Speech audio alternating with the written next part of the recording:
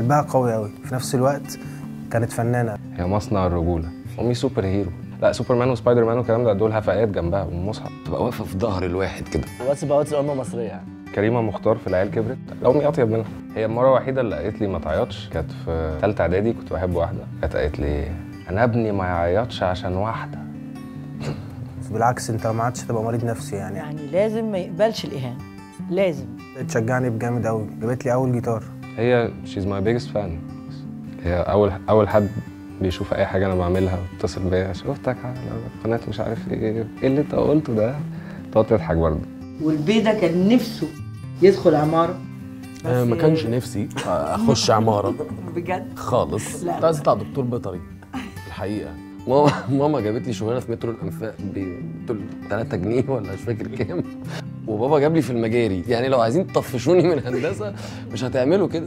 إحنا خمس مهندسين في البيت. فالغدا بتاعنا عبارة عن خرسانة وطوب و- وزلط وحاجات كده. مرة مثلا كنت أنا وأخويا بنستحمى وإحنا صغيرين في البانيو كنا. خمس سنين مثلا. بعدين أخويا أقنعني إن أنا انط start في البانيو من فوق الغسالة. فأنا نطيت طبعا دقني اتفتحت وده اتبهدلت خالص ودم في كل حتة. مرة جالنا ولد مكواجي فبيقول لي هو هنا ساكنين عبدة الشعب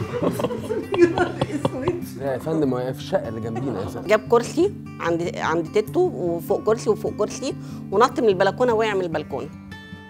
آه جالي إيه؟ جالك ارتجاج في المخ عشان كده مخه لا يطلع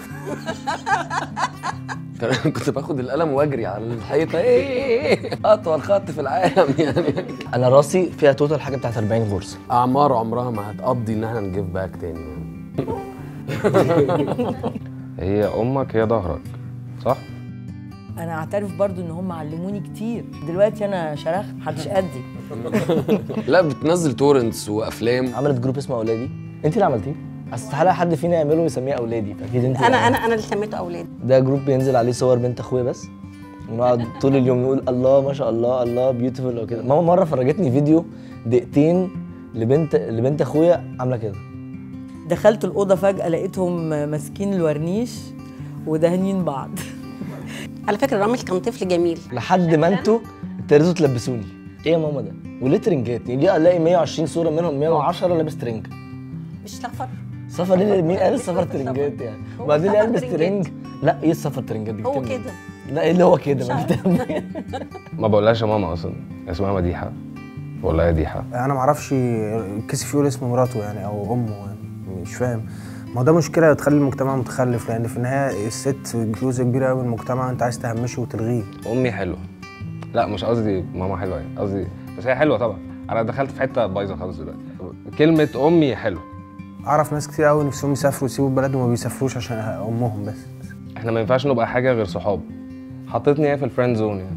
عزيزي مروان صباح الخير. الحقيقة أنا زعلانة منك قوي مبدئيا كده. لاني شعرت الصبح إن ما عندكش أي إحساس بالمسؤولية تجاه نفسك. غير كده هتعيش في قاع المجتمع سواء في مصر أو في غيرها. كل ده عشان كنت عايز أنام شوية زياده البومرانج شفته ده شفته هو جاي في وشي ده صندل خشب. فضي. لا والطريقة يعني لو وأنا شايفه شايفه جاي slow motion نزل عمل landing هنا. عارفه إيه السيلفي يا ماما؟ لا من ناحية عارفة عارفة بس إيه ما بقى؟ بعرفش اعملها إيه؟ أنت تمسك كده وتصور يلا. تعالي مين يا